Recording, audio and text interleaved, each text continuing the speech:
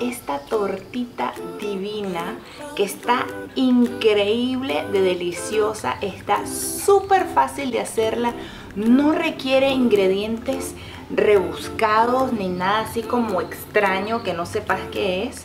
Y eh, es algo que eh, te va a ayudar a comenzar las mañanas de igual forma cetogénicamente hablando. Así que sin tanto preámbulo comencemos y te voy a enseñar cómo hacerlo. Primero los ingredientes. Esto es lo que vas a necesitar. Puedes sustituir el monk fruit por algo que se llama erythritol. Eh, perfectamente lo puedes utilizar, no hay ningún problema. En mi caso personal me encanta el monk fruit, pero si no tenés monk fruit puedes utilizar erythritol. Así que bueno, estos son los ingredientes. Vamos a pasar a la parte donde ya vamos a comenzar a hacer esta receta que está súper fácil.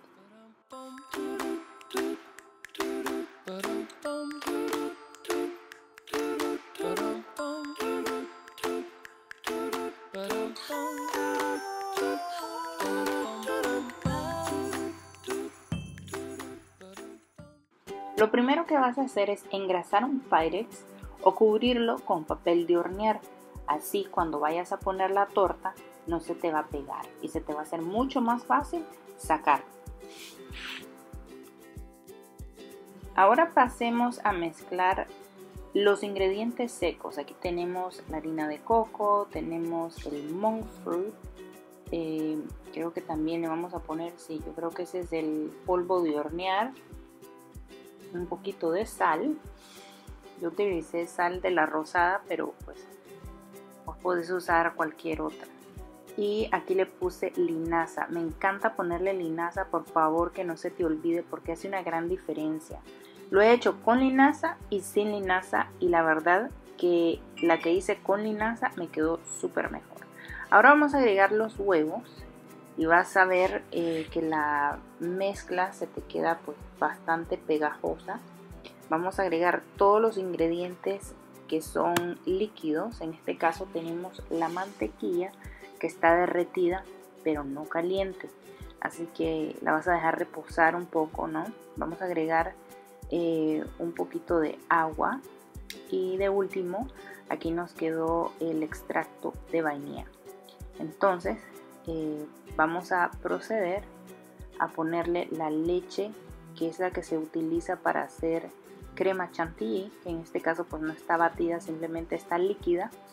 Y vamos a proceder a revolver todo muy bien para que nos quede una mezcla un tanto espesa. Aquí el sol me mató la imagen pero no importa porque ahora sí ya se ve mejor. Entonces le vamos a dar eh, vuelta y vuelta hasta que no te queden grumos tan grandes. La verdad es que quedó bastante eh, bien la mezcla. Y ahora vamos a proceder a mezclarlo con media taza de las rodajitas de fresa. Acordate que no las vas a poner todas simplemente es una parte para que eso quede dentro de la torta. Y ya de último vamos a ponerlas encima. Entonces con movimientos envolventes vas a darle eh, vuelta y vuelta hasta que se mezcle muy bien ahora en el Pyrex vas a vertir toda la mezcla ¿cómo se dice? vertir o verter bueno vamos a poner la mezcla aquí y vamos a tratar de dejarlo lo más uniforme posible para que te quede bonita y no te quede así como alta de un lado y alta del otro. Así que con paciencia le vas poniendo poco a poco y luego le vas aplanando para que te quede bonita.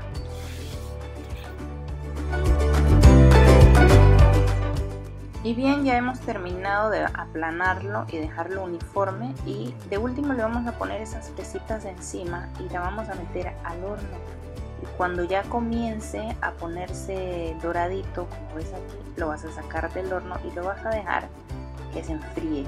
Y entonces lo cortas, tu tacita de café y te lo comes con tu café. Invitas a tu vecina, a alguien y vas a ver lo rico que es esta tortita. Espero te guste.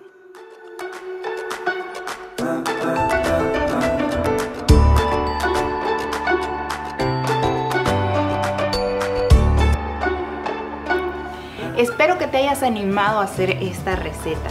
Así que si de verdad la hiciste, quisiera, me encantaría que me dejaras un mensaje y me dijeras qué te pareció, si hay alguna manera diferente que tal vez eh, no, no, usaste la fresa, tal vez usaste otro tipo eh, de frutita, tal vez le pusiste arándanos, qué sé yo, mandame una foto, eh, dame tag en Instagram, te voy a dejar mis redes aquí abajo y me encantaría saber de vos, me encantaría que me dijeras qué te pareció. Así que si quieres seguir viendo más recetas en mi canal, te pido que te suscribas aquí abajo y que le des clic a la campanita para que YouTube te notifique cada vez que yo suba una receta nueva. Te veré en otro video.